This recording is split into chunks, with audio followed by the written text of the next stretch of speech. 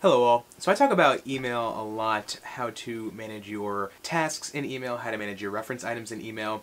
All that is great. However, this video is just going to go over some very quick and easy actionable items that you can do to get to inbox zero faster. So here are the five easy steps you could take to get to inbox zero. Step one is very easily and obviously just getting the right email app. So there are tons of email apps out there. If you're using, say, Gmail, for example, that doesn't quite encourage inbox zero. However, it does allow it and it does make it still somewhat easy. There are other apps like Airmail and even Inbox by Google that do encourage inbox zero by allowing you to easy allocate things, by allowing you to snooze and defer items, and by allowing you to easily bundle things together so nothing slips through the cracks. Step two on the topic of allocating and organizing, you're want to create some folders right off the bat. So once you have your new email app set up, say to yourself, okay, well, I'm to need to organize some things in my life. I know that I have a lot of business here in whatever area that I'm to have to keep my emails allocated separately for.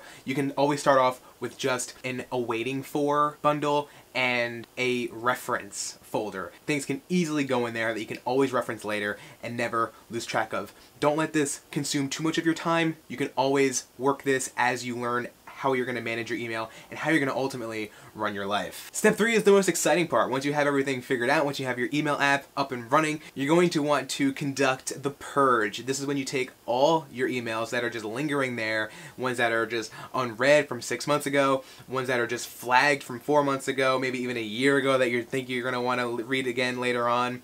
And this is when you just go down the line, select all, and archive. Now, right off the bat, you're gonna be stuck with an inbox zero. It's a great first step and it's a great kick in the butt to get you wanting to keep your email inbox as clean as possible at all times. Never fear, all your emails are not gone, you're not deleting anything. If you just archive them, they're still going to be on the same server, in the same cloud, just tagged as archived now instead of tagged as in my face every time I open up my app, confusing and overwhelming me all the time. Step four, this is going to be your mindset more than anything else. This is going to be pretty hard because you're going to have to change your behavior and change your habits. This is when you want to maintain your clean inbox now that you have it all clean and neat. So whenever you check your email, understand and mentally prepare yourself for doing something with all those emails, triaging what you're going to do with everything and how you're going to manage everyone that's trying to contact you through email. Say to yourself, can I take action on this right now? Can I just respond to the email, get it over with, archive it, and be done with it? Can I snooze it? I have I can't even take care of this right now. Let me just worry about it next week. Snooze it till next Monday. Or throw it in one of your folders because you're going to want to reference these tickets that you're buying next week when you go to the show. Now there are going to be some times when you just don't know what to do with an email.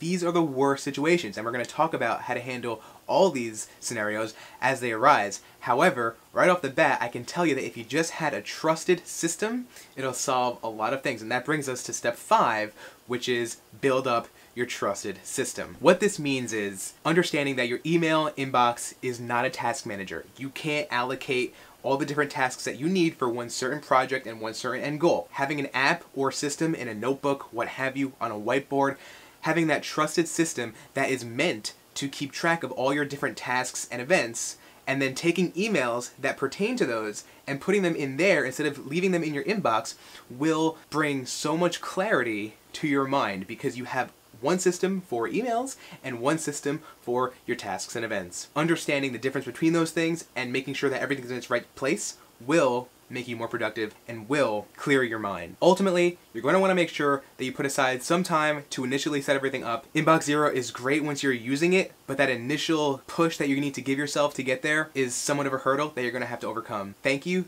good luck, and get to work.